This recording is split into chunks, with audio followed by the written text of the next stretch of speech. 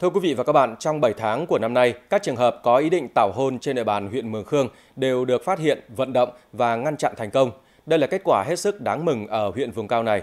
Tuy nhiên, trước diễn biến phức tạp và có thể tiếp tục kéo dài của dịch COVID-19, nhiều người dân, nhất là thanh niên không đi làm ăn, thì nguy cơ xảy ra tảo hôn là rất lớn.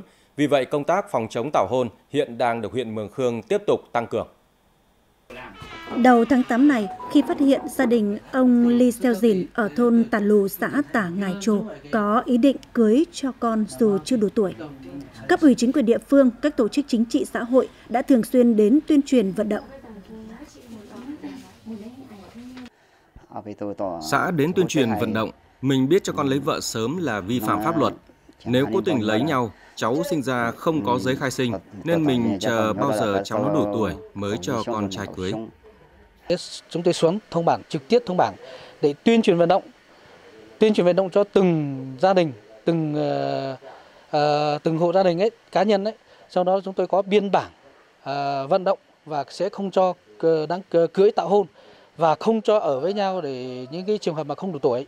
Chúng tôi kiên quyết nếu như trường hợp nào mà không nghe thì chúng tôi kiên quyết xử lý nghiêm.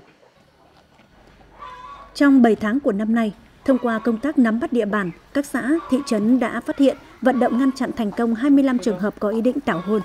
Tuy nhiên, nhận định việc người lao động không đi làm ăn xa nhiều sẽ là nguyên nhân tiềm ẩn nguy cơ dẫn đến tảo hôn. Huyện Mường Khương tiếp tục tăng cường triển khai nhiều biện pháp để hạn chế tối đa các trường hợp vi phạm, trong đó chú trọng tuyên truyền cho những người trẻ tuổi hiểu các quy định của pháp luật trong lĩnh vực hôn nhân và gia đình. Làm việc kết hôn sớm thì chúng ta sẽ không được đi học và sẽ không có sẽ không tốt cho sức khỏe. Mình sẽ không lấy chồng sớm và mình sẽ cố gắng học để ờ, sau này có công an việc làm. Chúng tôi xác định rằng là công tác tuyên truyền vận động vẫn là một trong những ờ, cái ờ, biện pháp quan trọng nhất để mà giảm thiểu cái tình trạng tảo hôn trên địa bàn huyện Mường Khương.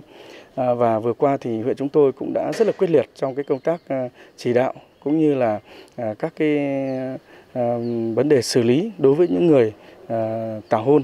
Ờ, cụ thể là trên địa bàn huyện Mường Khương chúng tôi đã xử lý hình sự một trường hợp liên quan đến tảo hôn. Ừ, đấy cũng là một trong biện pháp để gian đe cũng như là giáo dục và tuyên truyền pháp luật. Với sự vào cuộc của cả hệ thống chính trị, huyện Mường Khương đang nỗ lực quyết tâm hạn chế thấp nhất những tác động và ảnh hưởng của dịch COVID-19 đến việc thực hiện các nhiệm vụ chính trị xã hội ở địa phương, trong đó có việc đảm bảo và nâng cao chất lượng dân số vì sự phát triển ổn định và lâu dài của cộng đồng các dân tộc.